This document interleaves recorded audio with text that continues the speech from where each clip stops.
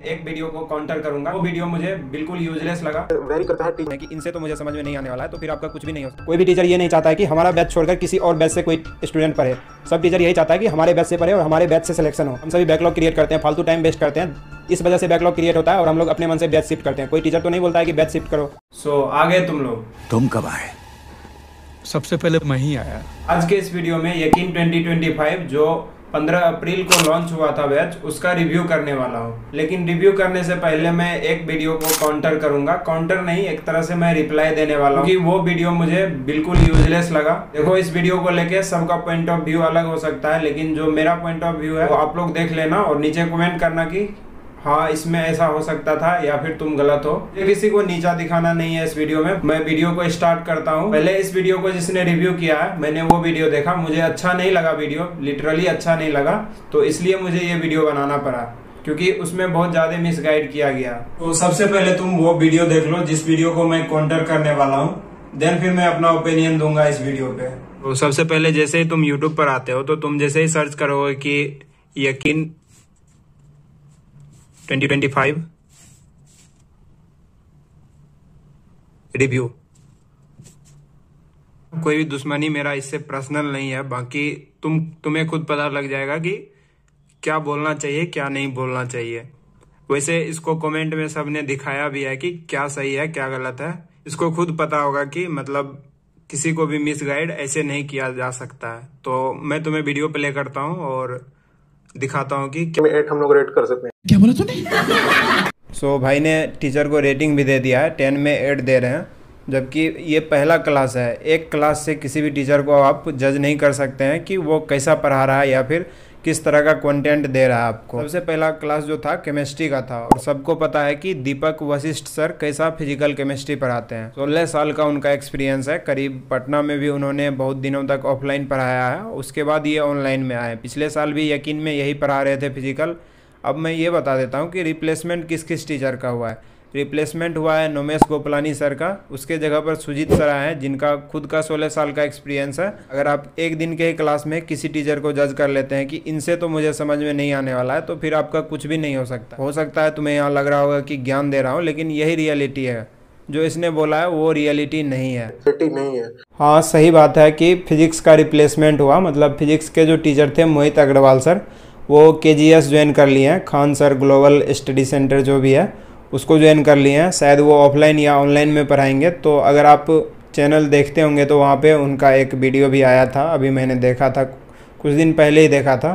तो मोहित अग्रवाल सर पिछले साल फिजिक्स पढ़ा रहे थे। तो उन्हीं का रिप्लेसमेंट तनुज बंसल सर आए हैं, जिनका एट ईयर का एक्सपीरियंस है। और उनका फ़र्स्ट क्लास ही हुआ था, जिसमें कि वो बेसिक मैथ के एंगल्स बता रहे थे। बेसिक मैथ में वो भी एंगल टॉपिक पर है और ट्रिगोनोमेट्री का कुछ बेसिक पार्ट पर है जो कि नाइन टेंथ में पढ़ाया जाता है। मानता हूँ आपका टीचर से फ्रीक्वेंसी मैच नहीं होता है कभी कभी जब शुरुआत में आप पढ़ते हैं, इसका मतलब ये नहीं है कि आप उस टीचर को स्किप कर दें। कम से कम आपको एक चैप्टर पढ़ के देखना चाहिए कि हाँ फ्रीक्वेंसी इनसे मैच कर रहा है कि नहीं। तब फिर आप टीचर एक्सचेंज कर सकते हैं। देन फिर आप शिफ्ट हो सकते हैं। ऐसा नहीं है कि पूरा बैच ही कमेंट भी किया था, बैच का एक्सपीरियंस अपना बता रहा था। तो फिर इसने क्या कमेंट किया? वो भी मैं तुम्हें दिखाऊँगा। भाई ने बोला था कि कमेंट करना कि आपका एक्सपीरियंस कैसा रहा बैच को लेके? तो भाई की हिपोक्रेसी का लेवल देखो। पहले इसने खुद बोला कि कमेंट करो और किसी ने कमेंट कर दिया कि एक्सपीरियंस कैसा रहा और उसने पॉजिटिव कमेंट किया था मतलब कि हाँ भाई, मेरा एक्सपीरियंस अच्छा रहा, मुझे पढ़ाई अच्छा लगा। और उसके नीचे देखो इसने क्या कमेंट किया। तुम खुद ही पढ़ लो। मुझे तो पढ़ने में भी प्रॉब्लम हो रहा है। थोड़ा इसका मतलब स्पेलिंग मिस्टेक है तो इस वजह से पढ़ने में दिक्कत हो रहा है। तो तुम खुद पढ़ लो यहाँ पे लगा हुआ है। हिपोक्रेसी की भी सीमा होती है। सारे टू पॉइंट में ही रहते हैं। पीडब्ल्यू का कोई पार्ट नहीं ले रहा हूँ कि मैं पीडब्ल्यू के तरफ़ हूँ ये इसके तरफ़ हूँ। ऐसा कुछ नहीं है।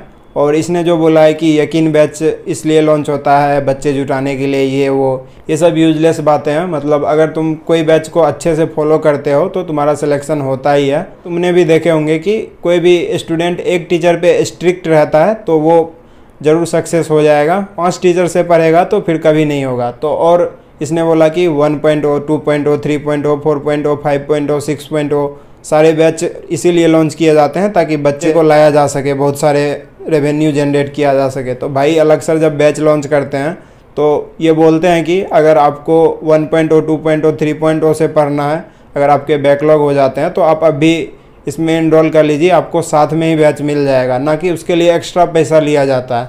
जो भी यकीन 2.0 लिया होगा उसको पता होगा कि प्रीवियस ईयर में 6.0 तक बैच आया था शायद तो वो सारे बैच फ्री में मिले थे सारे बच्चों को। कोई भी टीचर ये नहीं चाहता है कि हमारा बैच छोड़कर किसी और बैच से कोई स्टूडेंट पढ़े सब टीचर यही चाहता है कि हमारे बैच से पढ़े और हमारे बैच से सिलेक्शन हो। कोई भी टीचर ये क्यों चाहेगा कि मेरा बैच छोड़ के दूसरे बैच में पढ़े? हम सभी बैकलॉग क्रिएट करते हैं, फालतू टाइम वेस्ट करते हैं। इस वजह से बैकलॉग क्रिएट होता है और हम लोग अपने मन से बैच शिफ्ट करते हैं। कोई टीचर तो नहीं बोलता है कि बैच शिफ्ट करो।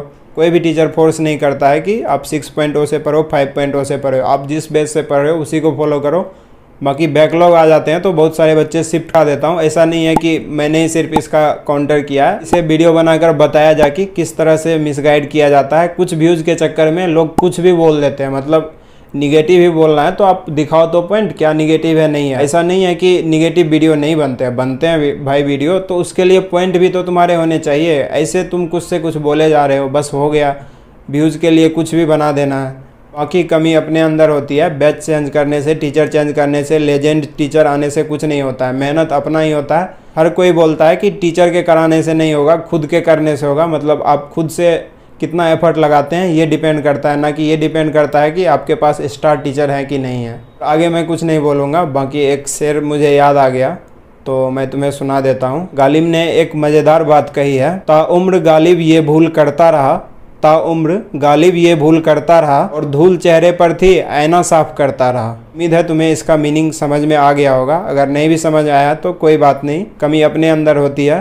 और हम लोग इल्ज़ाम दूसरे के ऊपर लगाते हैं कि ये टीचर अच्छा नहीं है, ये नहीं है, वो नहीं है। एक्चुअल में हम लोग खुद मेहनत नहीं करते हैं, इस वजह से भी चीज़ में हम लोग सक्सेस नहीं होते हैं। मेन बात ये है। तो फटाफट से मैं तुम्हें बता देता हूँ कि इस बैच में तुम्हें क्या क्या मिलता है। पहले फैकल्टी से एक बार रूबरू करा देता हूँ। वैसे तुम्हें पता ही होगा, मैंने बताया। बंसल सर पढ़ा रहे हैं, जिनको एट ईयर का एक्सपीरियंस है, उसके बाद इनऑर्गेनिक जो है सेवन ईयर्स का एक्सपीरियंस है, शिवम सर को वो पढ़ा रहे हैं। उसके बाद योगेश जैन सर का, जिनका कोई तोरी नहीं है ऑर्गेनिक केमिस्ट्री पढ़ाते हैं सर और उसके बाद फ़िज़िकल केमिस्ट्री का one of the best one of the best teacher है, दीपक वशिष्ठ सर उसके बाद अर्चना राठी मैन इलेवन ईयर का एक्सपीरियंस है इनका, ये बोटनी पढ़ाएँगे। और पढ़ा ही रहे हैं, अभी बैच स्टार्ट हो गया है। बाकी सुजीत त्रिपाठी सर जो कि जूलॉजी पढ़ाते हैं जो कि जूलॉजी पढ़ाते हैं, उनको सोलह ईयर का एक्सपीरियंस है। अगर तुम बैच में जाओगे तो तुम्हें यहाँ पे सारा कुछ मिल जाएगा डिटेल कि कितने बजे से कौन सा क्लासेस होता है, क्या होता है। यहाँ पे तुमको ये दिख रहा होगा इन्फिनिटी और नीट यकीन, दोनों में डिफरेंस ये है। तुम लोग को पता भी होगा, वैसे मैं बता देता हूँ कि यकीन इन्फिनिटी में तुम्हें खजाना मिल जाता है, सहायक मिल जाता है डीपीपी एंड टेस्ट भी मिल जाता है लेक्चर मिल जाता है notes mentorship Pitara community free access of all NEET coming test series मतलब जो भी अपकमिंग टेस्ट सीरीज़ होगा, सारे तुम्हें मिलेंगे। फ्री एक्सेस ऑफ़ ऑल यकीन वर्जन मतलब यकीन का जो भी वर्जन आएगा आगे, वो सारे मतलब तुम्हें फ्री में मिलेंगे। और ये रहा यकीन नीट का, यकीन नीट, अगर तुम लेते हो तो तुम्हें अड़तालीस रुपये देने पड़ते हैं, अगर तुम यकीन इन्फिनिटी लेते हो तो उसके लिए तुमको छियासठ रुपये देने आते हैं छः हज़ार छह सौ रुपये और यकीन नीट में जो है तुम्हें लेक्चर मिल जाते हैं नोट्स मिल जाते हैं डीपीपी टेस्ट भी मिल जाता है और कम्युनिटी भी तुम्हें मिल जाता है।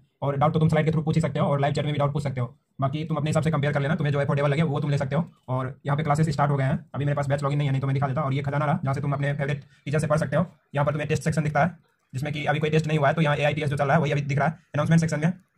यहाँ पे जो भी क्लासेस कैंसिल होते हैं, जैसे कि एक क्लासेस कल कैंसिल हुए थे, आज भी एक क्लासेस कैंसिल हुए हैं ड्यू टू पार्लियामेंट्री इलेक्शन तो इस वजह से यहाँ पे सारा कुछ दिखाया दिखता है अनाउंसमेंट में कि कौन सा कौन कौन सा चीज़ अपलोड हुआ है। बाकी कम्युनिटी टैब में तुम कम्युनिटी टैब में तुम पोस्ट कर सकते हो अपना, जैसे कि यहाँ कुछ बच्चों ने कर रखा है कम्युनिटी टैब में पोस्ट तो इस तरह से तुम कर सकते हो। बाकी सारा कुछ हो ही गया है और तो अपने गलती को एक्सेप्ट करो और जिस भी टीचर से पढ़ रहे हो, उसी से कंटिन्यू करो। मेरा कोई मोटिव नहीं था कि यहाँ ज्ञान देने का। बाकी मिसगाइड कर रहा था, इसीलिए मैं आया था। मैं इस तरह का वीडियो नहीं बनाता हूँ। मतलब कभी भी मैं गाइडेंस नहीं देता हूँ, क्योंकि मैं भी एक नॉर्मल स्टूडेंट हूँ। तुम जो गलती करते हो, वही गलती मैं भी करता हूँ। तुम बैकलॉग क्रिएट करते हो, मैं भी बैकलॉग क्रिएट करता हूँ। मैं भी फालतू टाइम कभी कभी वेस्ट करता हूँ। उम्मीद है तुम्हें बात समझ में आ गई होगी। मिलते हैं अगले वीडियो में।